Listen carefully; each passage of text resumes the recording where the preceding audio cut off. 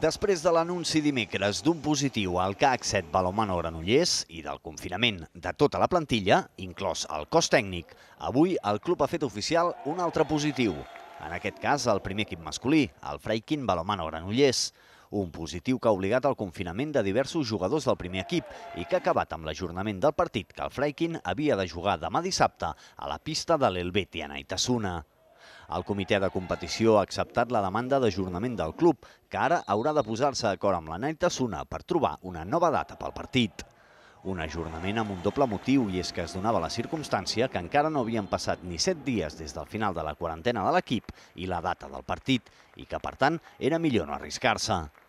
El que també s'ha ajornat per culpa de la pandèmia és el tas de la mitja, programat pel dissabte 31 d'octubre. L'organització s'ha reunit avui amb les autoritats municipals i sanitàries que li han recomanat l'ajornament degut al moment actual de la pandèmia al Vallès, amb indicadors sanitaris preocupants.